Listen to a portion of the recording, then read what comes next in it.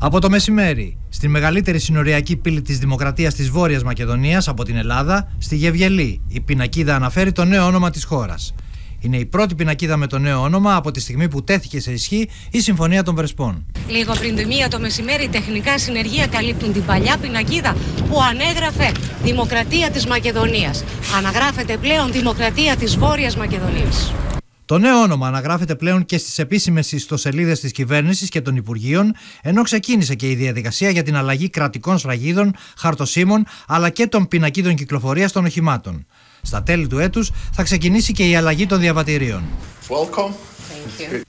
Στις Βρυξέλλες, ο Γενικός Γραμματέας του ΝΑΤΟ Γιέν Στόλτεμπεργκ καλωσόρισε την Υπουργό Άμυνας της Βόρειας Μακεδονίας Ραντβμίλα Σεκερίνσκα, που συμμετείχε για πρώτη φορά στη Σύνοδο των Υπουργών Άμυνας της Συμμαχίας. I have uh, seen that uh, yesterday uh, the NATO flag was raised uh, uh, uh, so at uh, at uh, government buildings in in uh, in your country in uh, North Mac- Macedonia.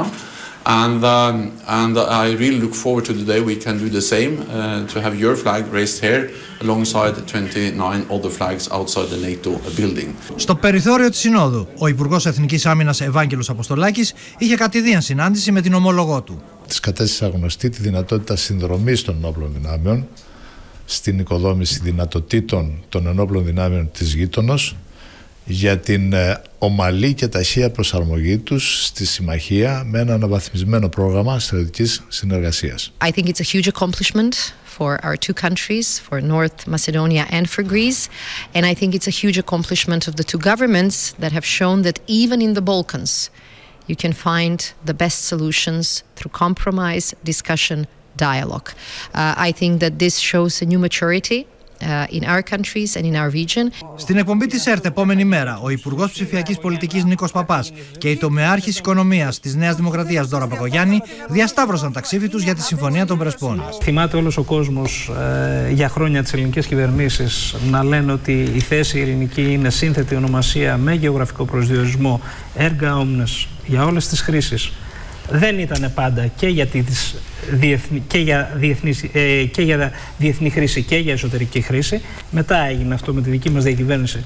Η αλήθεια είναι και πρέπει να λεχθεί καθαρά ότι μία συμφωνία η οποία είναι διεθνής, η οποία έχει παράξει αποτελέσματα όπως την είσοδο των Σκοπίων αυτή τη στιγμή στο ΝΑΤΟ, όπως το, το χαρτί το οποίο κοινοποιήθηκε σήμερα το βράδυ ε, στον ΟΗΕ, δεν μπορεί καμία κυβέρνηση να την αλλάξει. Στο εσωτερικό της Νέας Δημοκρατίας υπάρχει αυτή, αυτή τη στιγμή ένας σημαντικός διχασμός ανάμεσα σε ανθρώπους που επειδή έχουν υπηρετήσει στην εξωτερική πολιτική όπως η κυρία Μπακογιάννη ξέρουν ότι η συμφωνία είναι καλή, ασκώντας κριτική σε αυτήν, ότι από εδώ και πέρα είναι δίκαιο που δεσμεύει τη χώρα και θα την εφαρμόσουν και θα μιλούν για Βόρεια Μακεδονία και άλλες ακραίες φωνές, mm-hmm. όπως το αντιπρόεδρο της, που λένε τα αντίθετα. Δεν θα την πω Βόρεια Ποτέ. Μακεδονία, γιατί δεν έγινε δημοψήφισμα. Δεν... Είστε θεσμικό πρόσωπο, είστε αρχηγός κόμματος. Θεσμικό πρόσωπο είστε είμαι, αλλά επειδή δεν ακολουθήθηκε η διαδικασία του δημοψηφίσματος και επειδή ο λαός κατά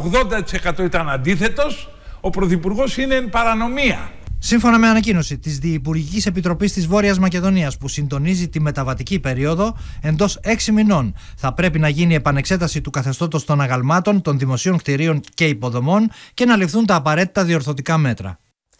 Το νέο όνομα λοιπόν αναγράφεται στις επίσημες ιστοσελίδες της κυβέρνησης και των Υπουργείων και πινακίδα με την ονομασία Δημοκρατία της Βόρειας Μακεδονίας τοποθετήθηκε στη μεγαλύτερη συνοριακή δίωδο στη Γευγελή απέναντι από το τελωνίο των Ευζώνων. Εκεί βρίσκεται και η Θεοδότα Τσιόπρα. Θεοδότα.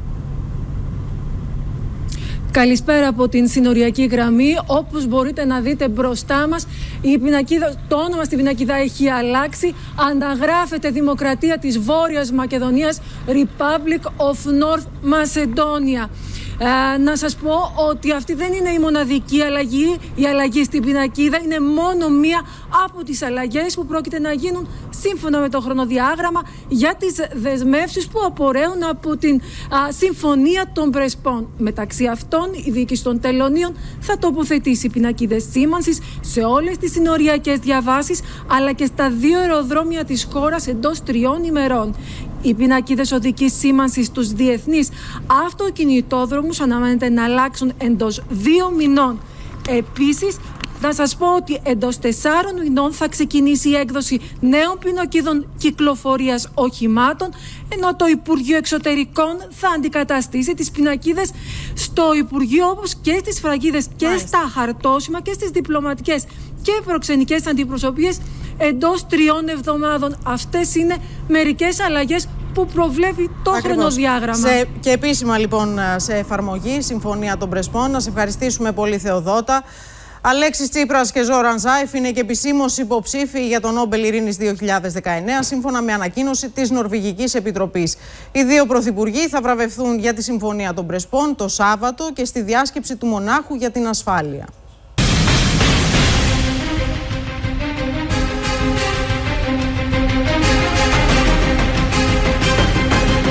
Επίσημος υποψήφοι για τον Νόμπελ Ειρήνης 2019 είναι από εχθές ο Αλέξης Τσίπρας και ο Ζωραν Ζάεφ για τον επιτυχή τερματισμό της πολυετούς διαμάχης των δύο χωρών με την υπογραφή της Συμφωνίας των Πρεσπών. Τσίπρας και Ζάεφ έχουν πάντως σκληρό ανταγωνισμό αφού οι υποψήφοι φέτος ξεπερνούν τους 300 αριθμός ρεκόρ στην ιστορία των Νόμπελ. 219 προσωπικότητες και 85 οργανισμοί ανακοινώθηκαν από την αρμόδια επιτροπή με έδρα την Νορβηγία. Τα βραβεία Νομπέλ είναι τα πιο προβεβλημένα βραβεία σε ολόκληρο τον κόσμο. Τα πέντε πρώτα φυσικής, χημίας, ιατρικής, λογοτεχνίας και ειρήνης θεσμοθετήθηκαν ταυτόχρονα το 1895 με τη διαθήκη του Σουηδού επιχειρηματία και φευρέτη Άλφρεντ Νόμπελ και απονέμονται από το 1901 στις 10 Δεκεμβρίου στην επέτειο του θανάτου του.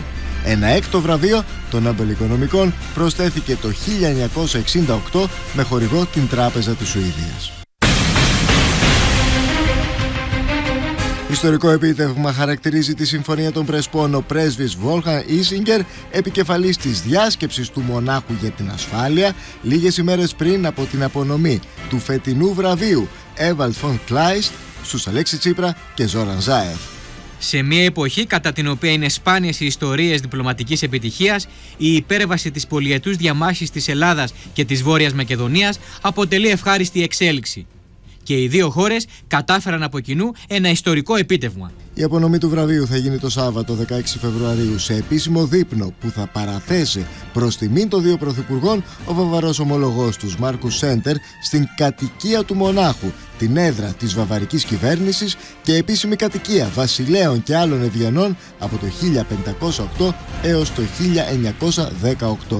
Στην τελετή θα παρευρεθούν 500 προσκεκλημένοι, μεταξύ των οποίων αρχηγοί κρατών και κυβερνήσεων και δεκάδες υπουργοί από ολόκληρο τον κόσμο.